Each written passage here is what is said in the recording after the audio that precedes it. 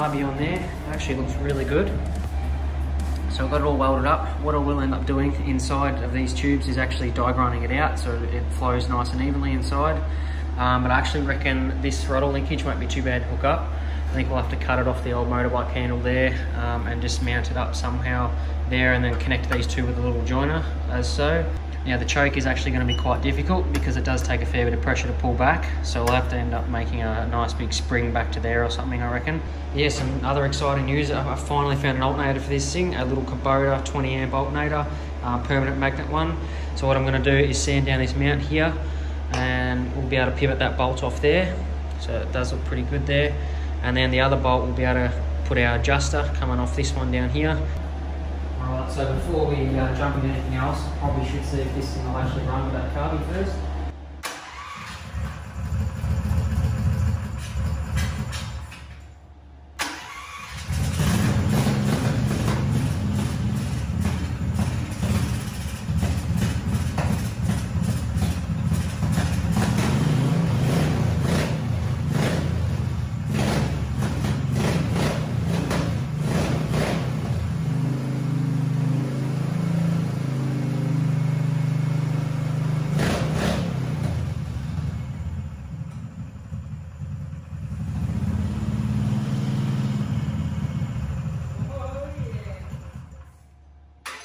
That's a win.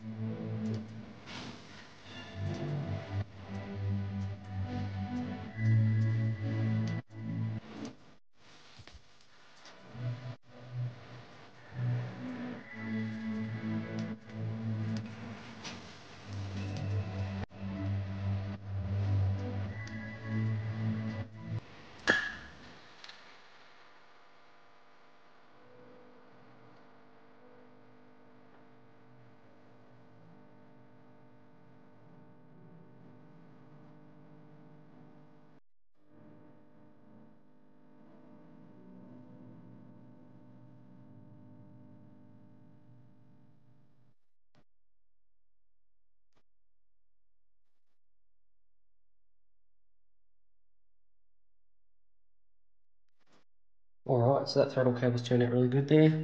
Um, just trimmed each side to length, just so uh, nothing gets caught on anything. Actually moves back really well, and it does spring back because there's a spring inside this carby, so we don't need to put any external springs on here anymore. Um, and the fuel hose I've just ran temporarily. I do have to try and figure out some type of mount for that later on. But I do want to see if this alternator is charging. And I do want to take this thing for a good drive just before we actually chuck something on this golf cart that is going to transform it completely. So yeah, let's go for a rip. All right, so that little alternator is putting out 13.2 volts at the moment, so it should go up once we rev it. Our lights off. And man, I'll tell you guys, this thing idles the best it's ever idled. It just sits here idling. Um, the choke is on at the moment, so I do have to look that up because it's a real pain having to pop the seat up. But yeah, as you can see, that's running nice and true there. Absolutely stoked with that. Alright, so that rear end's so much quieter, and this thing has so much better throttle response.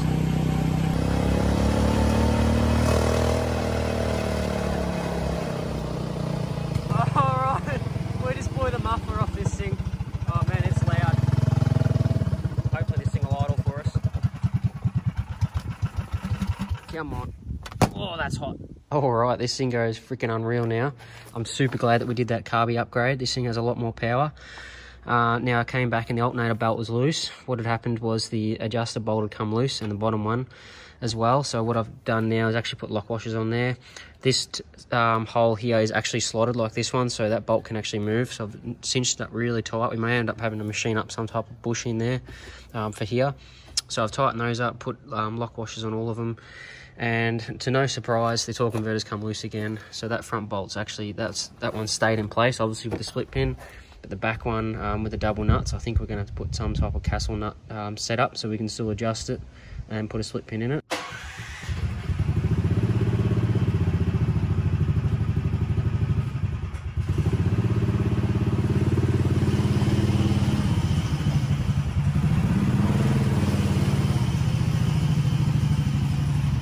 Alrighty guys, this is what I've been waiting to show you guys. I picked up this brand new set of tyres. These were very difficult to find. And luckily I found some um, fairly cheap. So these are a 22 inch tyre on a 10 inch rim, so that's a massive upgrade from what we've got on here with the 8 inch rim. So this will give us a lot more ground clearance and hopefully a little bit better in the mud. Yeah, I just can't wait, so let's just bolt these things on.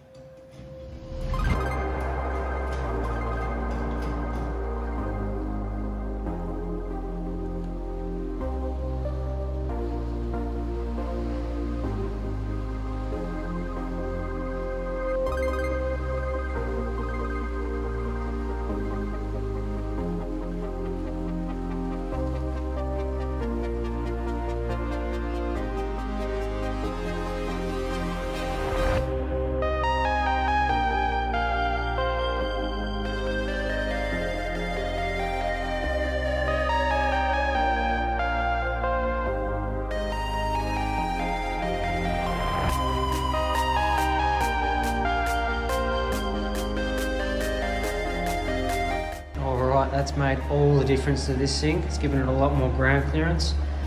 Um, I am noticing that we are getting quite close here to the guard, so I'll probably have to uh, maybe massage that a little bit, get it out of the way. I am going to build a custom rebar for this thing, so it's not really going to matter if we take that off and move it all out.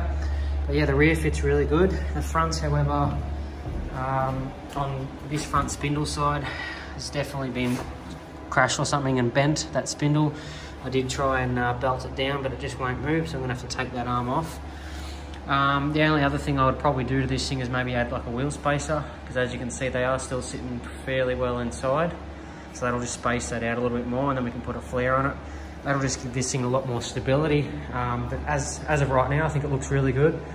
This thing's lifted up probably about three inches in height. All right, so with the old golf cart wheels, we could chuck them on the Mini Jeep. Um, let me know what you guys reckon down below. Definitely think these will look 100 times better than the little cheese cutters we've got on here at the moment. Now these are four stud and these are three studs, so we'll have to take off the hub and machine it down and make up a new uh, mounting face for it. So that'll be a fun little project to do. But I think these things will just be a lot more stable on the ground because they're a lot wider than these little wheels. Alrighty, so I fixed up that um, tie rod end there. So as you can see, it is still close to that wheel, but um, I think it's pretty good now. Same with the other side. And then at the back here, we're gonna do what we did to that front torque converter nut on the back. Um, so we'll put a split pin through it and then later on we can cut some slits in it when I take it back out and we'll make it like a castle nut.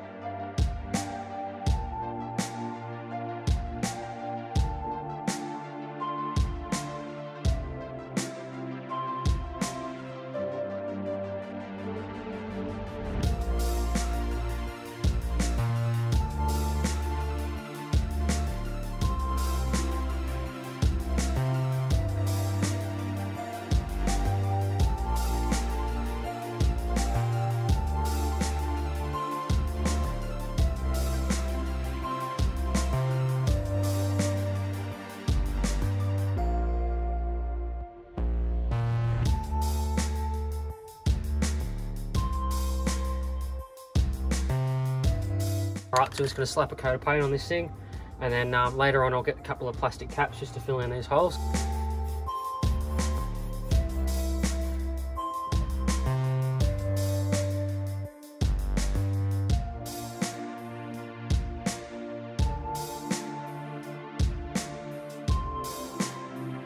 Alrighty, how much better does that look without those bags on the back? This is just giving us a lot more room for our tray. So we'll be able to bring our tray out to probably about here. Um, a nice little tray, so put whatever we want on there, some wood and stuff when we go camping. Um, and then we can also build our roll cage um, all the way up and around and down the front. So we had to put those on there and attach it to here. So that will be in the next video. Um, but yeah, I reckon as of now, I think we should go take this thing for a good ride because I say that every video and something always breaks, but I think we're going to be fairly right. Famous last words anyway.